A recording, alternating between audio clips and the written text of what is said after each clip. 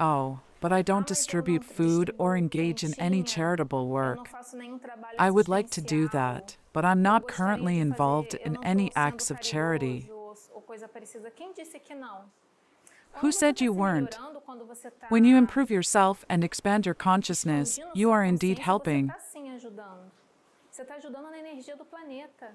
You're contributing to the energy of the planet, and that is no small deed.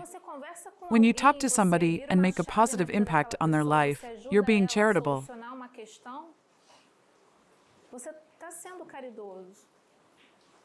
There are numerous ways for you to help. You don't need to give a speech or seek the spotlight, nor do you have to engage in specific types of work. There are others who are already doing that. Perhaps your role is different.